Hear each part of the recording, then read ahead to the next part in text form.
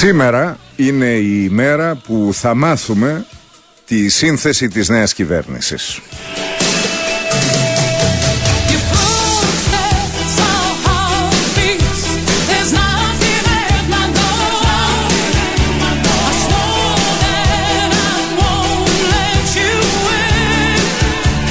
Οι ζυμώσεις βρίσκονται ήδη στην τελική τους φάση.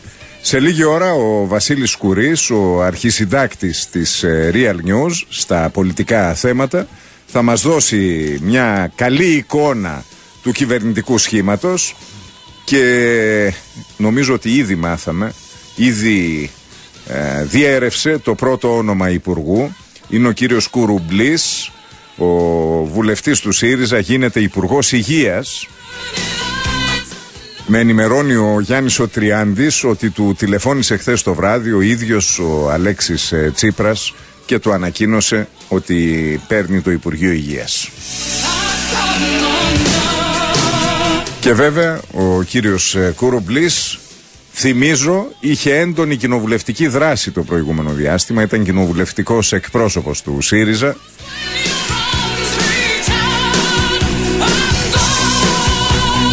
και είναι χωρίς αμφιβολία ένας άνθρωπος με υψηλή ευαισθησία στα θέματα υγείας καθώς έχει αντιμετωπίσει και ο ίδιος προβλήματα και ελπίζουμε όλοι ότι αυτή η ευαισθησία θα μετατραπεί σε έργο.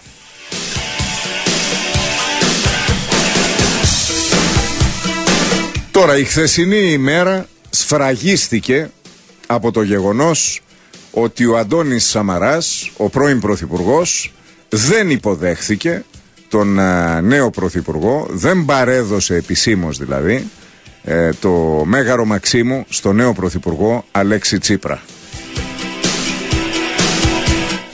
Προφανώς στα πλαίσια της ε, σκληρής προσωπικής αντιπαράθεσής τους που ξεκίνησε μήνες τώρα και κορυφώθηκε στη διάρκεια της προεκλογικής περίοδου ο Αντώνης Σαμαράς εμφορούμενος από προσωπική πικρία για τον ε, πολιτικό του αντίπαλο και τον τρόπο με τον οποίο τον αντιπολιτεύθηκε το προηγούμενο διάστημα επέλεξε να μην τηρήσει την, την παράδοση. Την πολιτική παράδοση που θέλει τον απερχόμενο πρωθυπουργό να υποδέχεται στα σκαλιά του Μεγάρου Μαξίμου τον νέο να συζητά μαζί του, να τον ενημερώνει για τις βασικές προτεραιότητες και τα βασικά θέματα που θα αντιμετωπίσει τις πρώτες ημέρες της θητείας του και να αποχωρεί στη συνέχεια χαμογελαστός. Το έπραξαν όλοι στη διάρκεια των 40 ε, ετών της ε, μεταπολίτευσης, όλοι ανεξαιρέτως, είναι η πρώτη εξαίρεση ο κύριος Αντώνης Σαμαράς και αυτό τα λέει όλα. Νομίζω ότι πρέπει ο ίδιος να κάνει reset και restart αν θέλει να μείνει σε ενεργό ρόλο στην πολιτική μας σκηνή. Reset και restart. Ας ρωτήσει κάποιους νεότερους να του πούν τι σημαίνει reset και restart.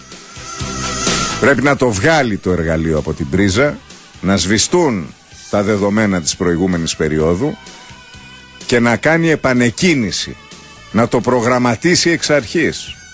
Διότι κουβαλώντας όλες αυτές τις πικρίες της προηγούμενης περίοδου δεν θα μπορέσει να επιτελέσει το θεσμικό ρόλο του αρχηγού της αξιωματικής αντιπολίτευσης. Αν βέβαια τα στελέχη του κόμματός του αποφασίσουν να τον εμπιστευθούν για το ρόλο αυτό.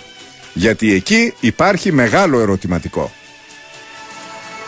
Ο κύριος Σαμαράς έχασε με 8,5 μονάδες διαφορά.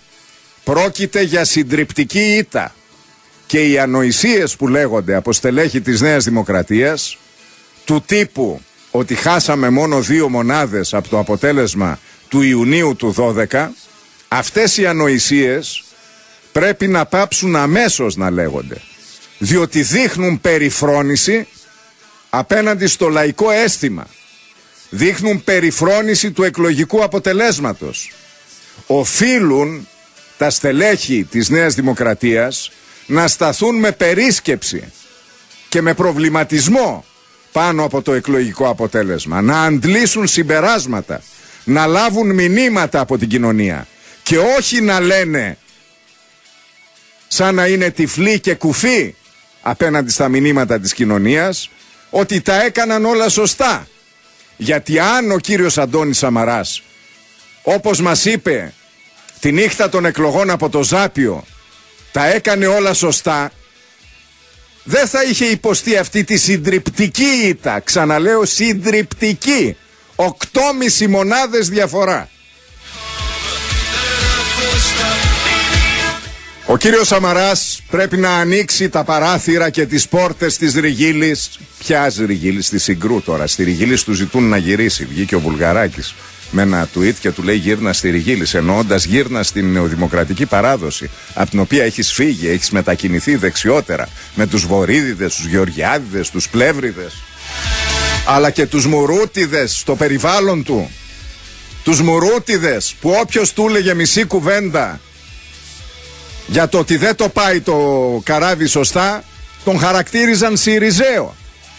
Όποιος κεντροδεξιός έλεγε μισή κουβέντα στο Σαμαρά του έλεγε δεν το πας καλά πρόεδρε πάρ το λίγο αριστερά κόφτο λίγο δεξιά πρόσεχε μην πέσουμε στον τοίχο τον έλεγαν Σιριζέο αυτομάτως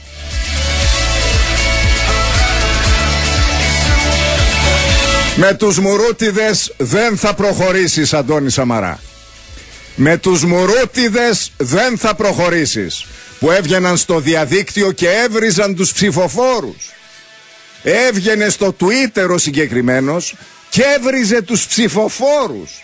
Έχετε ξαναδεί διευθυντή γραφείου τύπου πρωθυπουργού να βγαίνει στο διαδίκτυο και να βρίζει τους ψηφοφόρους που του κάνουν σχόλια και παρατηρήσεις για τα λάθη της κυβερνητικής πολιτικής.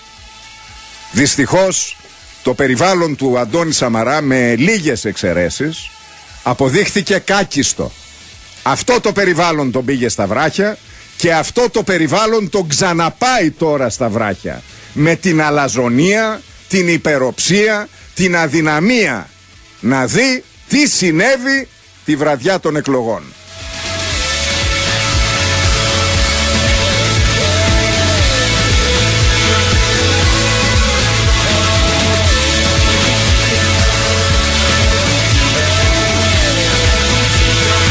Ήταν προεκλογική εκστρατεία αυτή που έκανε. Ήταν προεκλογική εκστρατεία αυτή που έκανε. Καλά. Το Τζίπρα τον θεωρούσε υβριστή. Και δεν πήγες να συζητήσεις μαζί του. Δίνοντας αμέσως την αίσθηση ότι δεν έχεις επιχειρήματα. Ότι τον φοβάσαι. Πήγαινε από εκεί και πέρα σε κάθε συνέντευξή του και έλεγε εγώ τον κάλεσα να μιλήσουμε. Και αυτός δεν έρχεται και έλεγε την ίδια περίοδο ότι αν ο Τσίπρας εκλεγεί πρωθυπουργός θα καταρρεύσει η χώρα. Είναι δυνατόν να φοβάσαι ότι η χώρα πάει στον κρεμό και να μην βγαίνεις με τα επιχειρήματά σου απέναντί του να πείσεις τους Έλληνες για αυτή τη μεγάλη καταστροφή που έρχεται. Και καλά ο Τσίπρας. Ήταν υβριστής λέει και δεν του μιλούσε οι δημοσιογράφοι που πήγες και απίθωσες τις γλάστρες μπροστά σου και μίλαγες μόνος σου και νόμιζες ότι στην Ελλάδα του 2015 μπορείς να βγαίνεις μόνος σου και να κάνεις διάγγελμα να μην απαντάς σε καμία σοβαρή ερώτηση σε καμία απορία της κοινωνίας σε κανένα από τα μεγάλα προβλήματα και να θεωρείς ότι όσοι ηλίθιοι οι Έλληνες θα πιστέψουν ότι αυτή είναι διαδικασία συνέντευξης και είναι δημοσιογραφία. Να βάζεις απέναντι τους υπαλλήλους της ΝΕΡΙΤ αμήλυτους και να κλείνεις και τη συνέντευξη, να λες και καληνύχτα. Εκεί έφτασες. Έφτασες να πεις και καληνύχτα. Να πεις τελείωσε η συνέντευξη, γεια σας. Ήταν η ωραία μου εκπομπή. Ούτε μία συνέντευξη της προκοπής δεν έδωσε ο Αντώνης Σαμαράς στην προεκλογική περίοδο. Ούτε μία συνέντευξη της προκοπής. Δεν στάθηκε απέναντι σε δυο δημοσιογράφους. Δεν λέω για την αφεντιά μου. Ας μην έδινε σε μένα μα δεν με γουστάρει. Ας μην έδινε. Που δεν μου έδωσε από την ημέρα που εξελέγει πρωθυπουργός δεν ξαναπήρα συνέντευξη. Είμαι υβριστής κι εγώ. Έχω τη φήμη ότι είμαι από τους ευγενέστερους Έλληνες δημοσιογράφους. Από τους ευγενέστερους. Εδώ ο Παπανδρέου που ήταν ανοιχτό σε 50 ζητήματα ήρθε απέναντί μου και απαντούσε δυόμιση ώρες.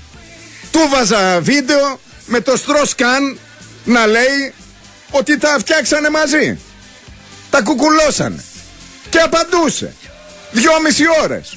Και απαντούσε και σε πολίτες. Εσύ γιατί κρυβόσουνα; Γιατί κρύβεσαι; Κρύβεσαι και από το αποτέλεσμα τώρα. Κρύβεσαι και από το αποτέλεσμα. Οκτώμιση μονάδες έχασες. Και εμφανίστηκες με τους υπαλλήλους της Συγκρού να φωνάζουν Ελλάς, Ελλάς, Αντώνη Σαμαράς το βράδυ της ε, Κυριακής στο Ζάπιο. Τόση περιφρόνηση στον ελληνικό λαό. Τόση περιφρόνηση.